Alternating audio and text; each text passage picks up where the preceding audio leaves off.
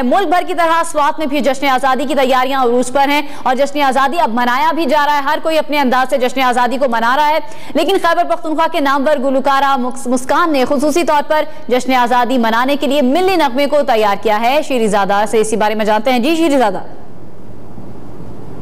جی ملک بھر کی طرح سوات میں بھی جشن آزادی کو شائع نشان اور جوش و خروش سے منایا جا رہا ہے۔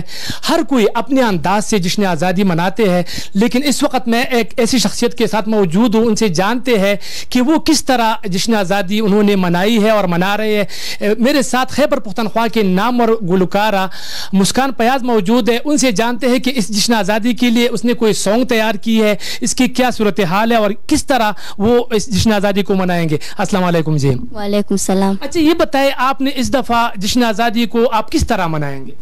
میں پہلے تمام پاکستان کو جشن آزادی مبارک کہنا چاہتی ہوں۔ ٹھیک ہے۔ ہاں۔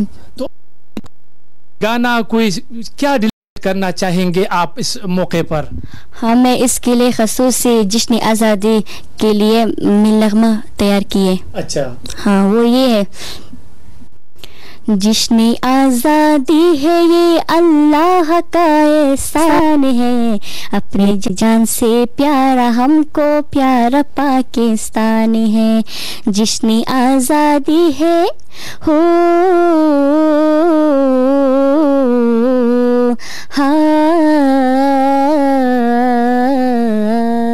جشن آزادی ہے، یہ اللہ کا احسان ہے۔